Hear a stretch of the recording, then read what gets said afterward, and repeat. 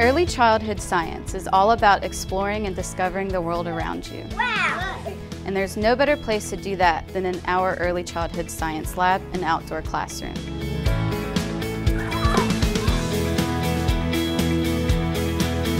One of the unique aspects of our early childhood science lab is our use of age-appropriate technology.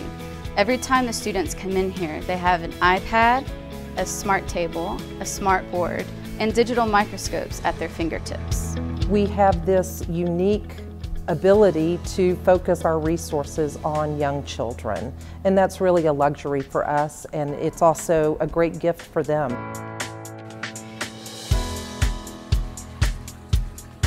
The design of the lab enables us to have many different live animals and science centers, so this enables every type of learner to discover on their own. When they make their own discovery, it sparks a memory that lasts a lifetime.